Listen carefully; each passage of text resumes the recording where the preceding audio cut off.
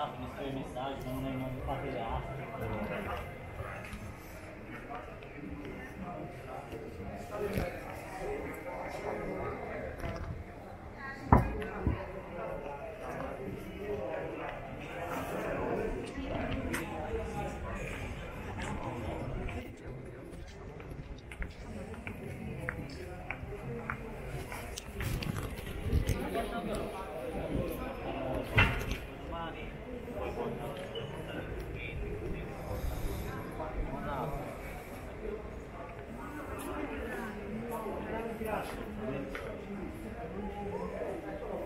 Stanno facendo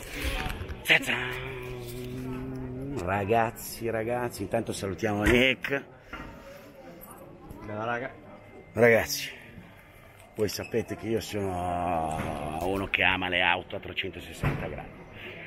Siamo di fronte a mi hanno appena detto che è venuto il signor Cognolato, il più grande restauratore del mondo, e ha detto che è l'auto più interessante della fiera. Io sono venuto qui dicendo ad Alessandro Bruni, che adesso eh, intervisteremo, è già stato sul mio canale, ho detto questa per me è l'auto più bella, più bella della fiera, la vincitrice di Auto d'Epoca Padua 2020. Per me è questa, splendida, meravigliosa, Cisitalia 33 DF, volo radente del 1954 disegnata dall'appena dipartito grandissimo Aldo Brovarone.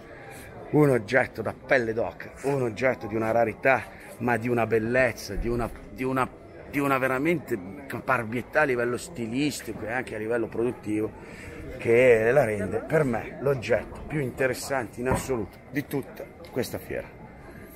Io sono senza parole, e telaio numero 02 e chiederei al grande Alessandro Bruni che ho l'occasione di poter disturbare nuovamente dopo il bellissimo video della Fiat Pininfarina Coupé ad auto moto a Milano Autoclassica dell'anno scorso che ci racconta gentilmente che cos'è questa meraviglia di tecnica, meraviglia di design, meraviglia di caparbietà artigianale italiana della metà degli anni 50. Ciao Alessandro, Ciao, ciao. benvenuto di nuovo su grazie.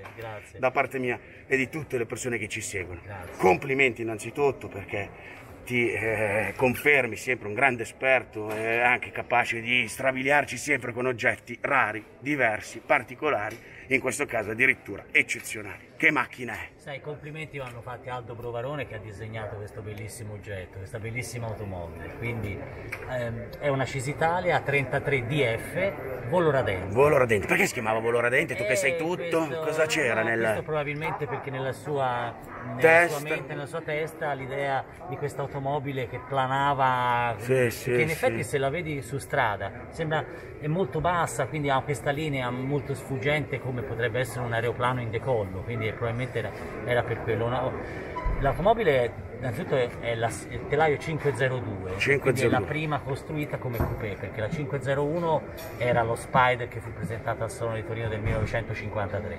Quindi la 502 interamente in alluminio, quindi automobile completamente in alluminio e questa è la colore, combinazione di colore che fu scelta dal suo proprietario, il signor Puzzarini, nel 1954. Bellissimo l'abbinamento. Era, era stato l'autista del re Vittorio Emanuele. Pensa e a te. dopoguerra nel 1954 acquistò questa automobile.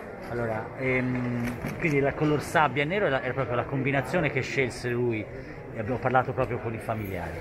Ehm, L'automobile ha questo bellissimo motore, suo motore d'origine, tipo 500 502, che è un Cilindrata? 1100, 1100, 1089, con i due carburatori Weber in bronzo, come utilizzava Cisitalia già nelle prime vetture che, che- che realizzò nell'immediato dopoguerra. È un motore che, che ha tan- tanta forza, poi la macchina è leggera, quindi anche piacevole da, da, da guidare. Da condurre. Sì. Io me ne sono innamorato quando l'ho vista, questa automobile è stato per me sempre il cuore, perché era molti anni che non si vedeva più in Italia, era, cioè, era in Italia ma era in una collezione privata, è stata in una collezione privata per 11 anni, quindi è stato un piacere riportarla qui, fare vedere agli appassionati e, e devo dire che ci sono molte persone che ne hanno apprezzato Ma il, gesto, penso, meno male. il gesto nei confronti di Aldo Brovarone e, e anche il fatto di avere rivisto uno- veramente un'automobile italiana con lo stile italiano Stupenderrima. che ci ha, che ci ha distinto nel mondo per tanti anni. Assolutamente, assolutamente.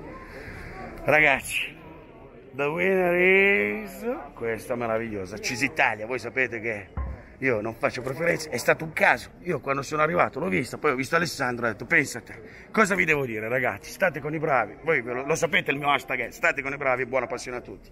Alessandro, grazie, grazie, grazie mille. Prima o poi ha promesso anche Corrado che passeremo per quella tappa del Ride Lo Presto ah, che abbiamo perfetto, dovuto a Firenze. a Firenze. Passeremo a salutarti, ne parlavamo perfetto. addirittura settimana scorsa. Ciao, Lo faremo appena possibile. Ciao Alessandro, viva sempre l'automobile. Grazie ciao, mille. Ciao, Salutiamoci come ci si saluta adesso. Grazie Alessandro, gentilissimo.